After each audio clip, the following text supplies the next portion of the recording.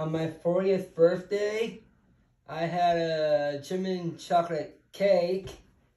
Uh, oh, um, on my 40th birthday, I had a German chocolate cake. Uh, we probably do have uh, that kind of cake in in in in in in in in, in, America too. Well, I uh, would have had the uh, German version since I might not be uh, German enough to have that. So my dad, so something like that. I got one from HEB in San Antonio, Texas. Yep. There can be other food topics I like to talk about. Well, uh, for Mexican food, in uh, for for Mexican food in San Antonio, Texas, uh, we do have uh, Rodeo Jalisco, and also uh, Taco Bell and Taco Cabana. The uh, taste differences, uh, it might be more uh, Americanized than the uh, real thing in in, in, in, in Mexico. Yep.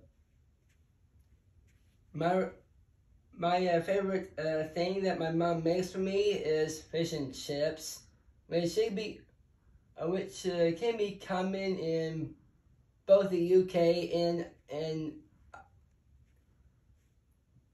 both the UK and both the uh, UK and America too.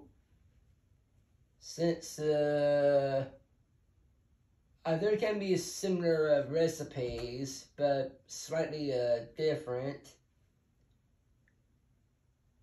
For food and probably for food in France, I actually do like their soups. Uh, they're afraid, uh, um, I, I do like their soups. Um, uh, French, I, they're a French uh, onion soup. Uh, uh, there can be uh, cookbooks Yep. I, there could be uh, cookbooks from anywhere, uh, America or Brazil or any other countries. Oh, and uh, by the way, this is my brand new couch.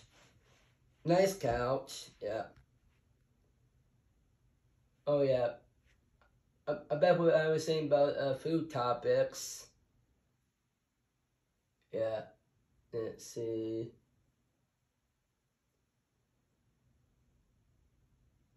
probably for like uh, Italian food, we probably do have something uh, similar in, in, in, in America, uh, probably.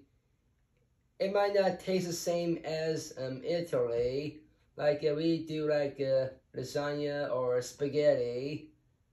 Or my mom's favorite, um, chicken parmesan, uh, which is also good. Uh, yeah.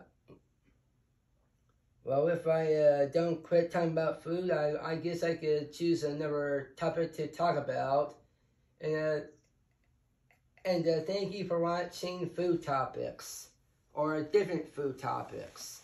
Bye.